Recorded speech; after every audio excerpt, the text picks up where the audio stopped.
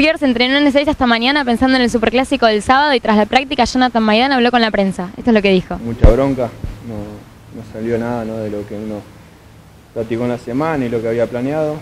El equipo sinceramente fue uno de los peores partidos creo yo. Pero bueno, también Independiente tiene un buen equipo, grandes jugadores y no hay, no que quitarle mérito. Pero sin duda que nosotros no, estuvimos en nuestro mejor día. estos partidos siempre son importantes, ¿no? más que nada para la gente, para el club hay que salir bien parado de, lo que se viene el fin de semana.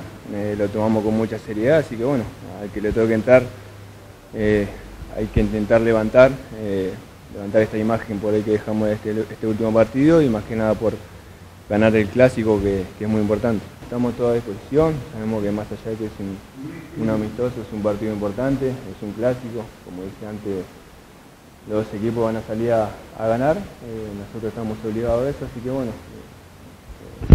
estamos toda a disposición y lo que me toquen viajar y después jugar, harán lo posible para, salir bien parado del partido y bueno, conseguir una victoria que, que tranquilo al club y a la gente.